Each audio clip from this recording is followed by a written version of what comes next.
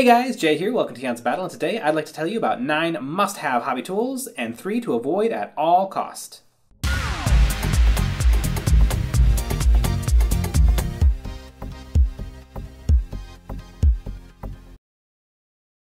Here is all the tools that I use on a regular basis, like hobby knives, flush nippers, and a pin vise. I keep them in a tackle box for fishing, which makes them nice and portable. Everything in this box is pretty basic hobby supplies, but in this video I would like to show you some things that you might not know about. Number 1. There are a lot of hobby handles out there. The Games Workshop hard plastic one, the Tamiya one, some wine corks, or even this one. But they all have the same thing in common. They're not a small cube of wood. This is my preferred paint handle, nice and simple. If a model is based, I use some poster tack to stick it down, or if not, I just super glue the feet of the model to the wood. You can also drill a hole and insert a paper clip to attach something else like this backpack. You can also glue on parts for subassemblies. If I'm trying to get some wash to dry just how I would like it, I can move the cube around to make sure that it pools in the direction I want it to. A lot of people don't even use paint handles, but if you do or want to try one, I'd recommend the little cube of wood. Number 2. I see a lot of people investing in steel files. I have a set myself, and they're great for working on things like metal or resin, but they scratch the surface of plastic so much that you need to sand them again before you paint. The best tool for the job? Nail files. These are great for sanding plastic kits. The rough side will blow through anything you want gone, and then the fine side will clean it up nicely. And the foam the nail file is made out of will help them contour around round shapes. I would also avoid sanding sticks or nail files that are targeted at hobbyists because they are the same thing but more expensive. Also, don't use steel files on plastic. Only pain lies that way. Number 3. It's hard to find drill bits in sizes smaller than 1 8 inch, and a lot of the offerings on Amazon leave a lot to be desired. Usually, they come dull with poorly ground tips, and you're lucky if they work at all. I'd like to introduce you to the PCB drill bits. These bits are super sharp and really hard. They will blast through plastic like nothing else and work perfectly in a pin vise. These work great for drilling out gun barrels too.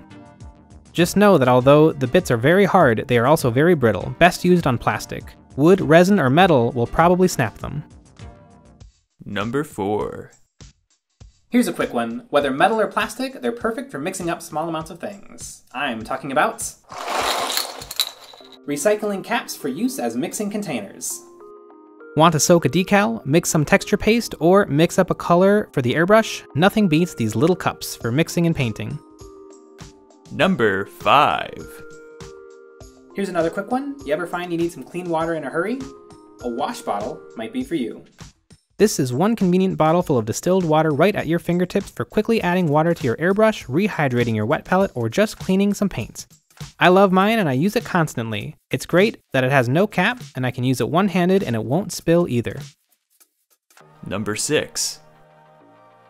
The best plastic glue I've ever used is Tamiya Extra Thin Cement and Tamiya Extra Thick Cement. And if you're confused what I'm talking about, let me introduce you to putting plastic in your glue. Tamiya Extra Thick Plastic Glue is just the thin with sprue melted into it.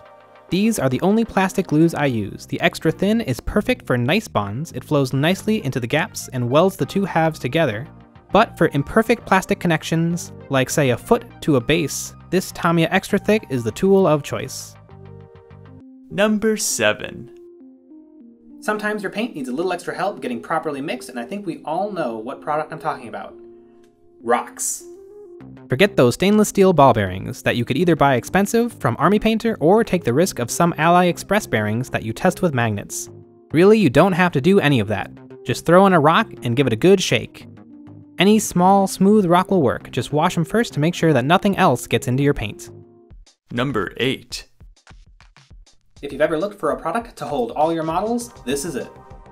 It's a 10 drawer paper organizer. This thing will hold your models, probably all of your models in fact. If you saw my video titled Every Model I Have Ever Painted, all those models fit into this sorter with room to spare. This can even work for taller models if you remove a drawer to give them a little bit more headroom. If you need your minis to take up a lot less room, this is the way to do it. Number 9. This is the product that gives me the strength to go on. Guys, I cannot recommend strongly enough to buy your super glue in tubes. It's so convenient and you get to start each project with fresh glue, and what is more important than a fresh tip? I have used a lot of different superglues that came in bottles. Superglue bottles with brush tips, superglue bottles with squeeze sides, superglue bottles with anti-clog caps, and it never helps. Maybe I'm just careless, but the caps would always get gummy, or I would forget to put the cap on, and sometimes the glue would dry out a little bit so that the cap wouldn't fit nicely back on, and it would prevent a seal, letting the rest of the glue start to dry out. And then when I would put it on my model, it would begin to frost because the glue has already started to cure, and it's awful and I hate it. These bottles just don't work. Don't buy them. But these single-use bottles are awesome. Start every project with a crisp new bottle. It'll flow nice, the cap will fit, and if you really need to get glue into the tight spot, well, the clean, never used before applicator tip is ready and waiting. Always know that you're using fresh glue. And it's not going to spill, and it can't be knocked over. Don't buy one. You've probably picked up on the first product that's going to be in my do not buy list. Super glue in bottles. Seriously, I already said it, these are the absolute worst. They aren't even cheaper, they cost about the same, but you never manage to use up all the glue before it starts to go bad. I cannot recommend it enough to not buy super glue in bottles. It will ruin your life. Don't buy two. It's neat, it's cool, but it's very, very expensive. Mixing machines are great for scientific purposes, but they're not necessary for Warhammer. For $80, I could just keep the money and mix the paints myself. Now, as we finish off this video, I'm going to show you how to make a mixing machine. Step 1, open your paint pot, next add a rock, and step 3, shake well.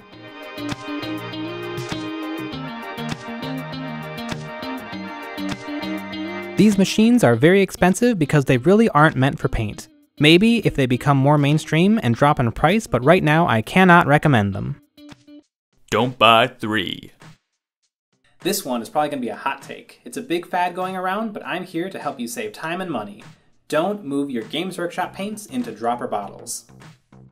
You really don't need to move your Games Workshop paint into dropper bottles. There are only so many hobby hours in the week, why spend them not painting? It takes your time and money. I did a little research into this process and the cheapest bottles on Amazon were about $7, and are probably not as nice as the bottles used by companies like Vallejo. To get the paint from the Games Workshop pot into the new bottle, you need either a pipette or funnel. The cheapest pipettes for moving the paint over cost another $7. Throw in a roll of paper towel because it's going to get messy, and there's one more dollar. This whole process is going to cost you at least $15 and a lot of your time.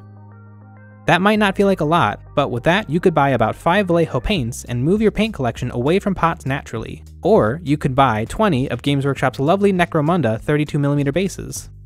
With that $15, you could have a feast from McDonald's. And if you need your money to be spent making you a better painter, you could buy this. The Age of Sigmar easy to build Glaivewraith Stalkers. Look at these guys. For 15 bucks, you get four stunning models on lovely scenic bases. You buy these, you paint them up, and you will be a better painter. I have had many Games Workshop paints, some of them 7 years old, and I've only had one go bad on me, and it was ceramite white, which is garbage paint anyway. If you really hate paint pots, then don't use Games Workshop. Most paint companies are good now, except Army Painter, and most of the Games Workshop range is just fine, with some standouts like Khorne Red and Lead Belcher, which are excellent. If we want Games Workshop to change their pots, vote with your wallet and don't waste your time. Well, I hope this video was helpful, and I hope I've given you some cheap ideas to up your hobby game. Thanks for watching.